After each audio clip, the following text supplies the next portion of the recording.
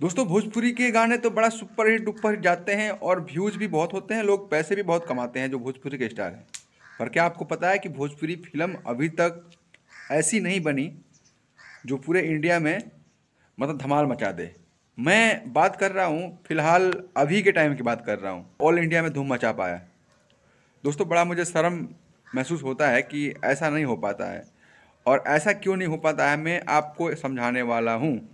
दोस्तों बता दो कि एक यश मिश्रा जी हैं जो कि भोजपुरी के ही आ, फ़िल्म का मतलब हीरो कह लीजिए और मतलब सब कुछ कह लीजिए वो डायरेक्शन भी देते हैं और सब कुछ प्रोड्यूसर सब कुछ है वो मान के चलिए फ़िल्म बनाते हैं अच्छा अच्छा फ़िल्म बनाते हैं।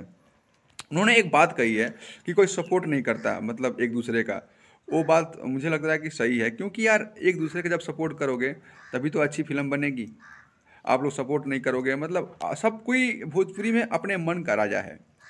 चाहे ले लीजिए ना, अपना खेसारी लाल यादव का मन के राजा हैं, पवन सिंह अपने मन के राजा हैं, और बहुत सारे ऐसे लोग हैं जो अब मन के राजा हैं। तो मन के राजा बनने से नहीं, दिल के राजा बनोगे, तब अच्छी फ़िल्में बनेगी। मुझे उम्मीद है कि आप लोग दिल का राजा बनेंगे, मन के राजा नहीं। क्योंकि यार अपनी छवि है ना, दिन पे दिन दिन पे दिन भोजपुरी की गिरती जा रही है। हाँ मानता हूँ कि आप लोग जब से यूट्यूब आया है, पैसे के मतलब बहुत कर दिए हैं, पैसा कमा लिए हैं बहुत भैया। और तो लेकिन यार उस पैसे क्या, उस पैसे क्या फ़ायदा? जो हम लोग, हमें कहीं जाते हैं हम लोग तो हम लोग का नाम थोड़ा सा नीचा लोग दिखाते हैं। तो उन चीज़ पे काम करना पड़ेगा कि हम लोग भी कहीं जाएँ, यूपी, बिहार के बंदे जाएँ, भोजपुरिया समाज जाए तो थोड़ा छाती चौड़ा करके रहें वहाँ पे।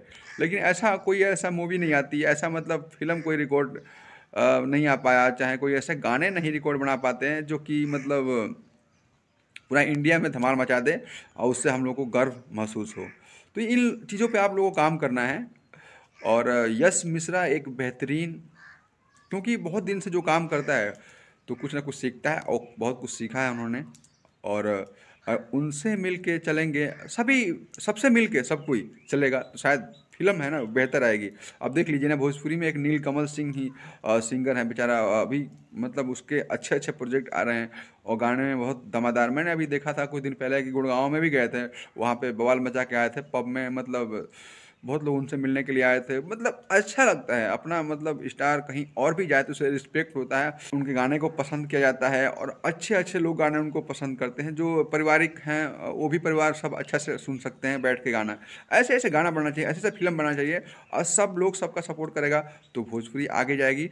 और भोजपुरी समाज का विकास होगा और भोजपुरी इंडस्ट्री आगे बढ़ेगी। और जितने छोटे लेवल के लड़के हैं, उनका भी सपोर्ट कीजिए आप लोग, ताकि आप लोग का फैमिली बढ़ेगी तो आप लोग मज़बूत होंगे, ठीक है? ये ना कि उसका गाना तो चोरी चारी का भी गाना लफड़ा बहुत होता है। चोरी चारी भी मत कीजिए, अगर बड़े स्टार हो आप तो चोरी तो करना नहीं चाहिए आपको, क्योंकि आपकी छवि बड़ा स्टार का है तो आप लोग की छवि के दाग लग जाती है। मतलब आप लोग को चुरवा स्टार कह देते हैं तो ये सब भी ध्यान रखिए। छोटे गाय को गाना चुरा चुराइए प्लीज़। और बस इतना ही संदेश देना था मुझे कि भोजपुरी में जो भी चल रहा है, उसको ठीक कीजिए जो गलत संदेश जा रहा है लोगों तक। क्योंकि यूट्यूब का ज़माना है यूट्यूब पे सब कचड़ मचड़ कचड़ मचड़ फैला हुआ है तो उन चीज़ों को आप लोग को ध्यान देना पड़ेगा। तो नमस्कार, जय सिया राम। फिर लेके आएँगे नेक्स्ट वीडियो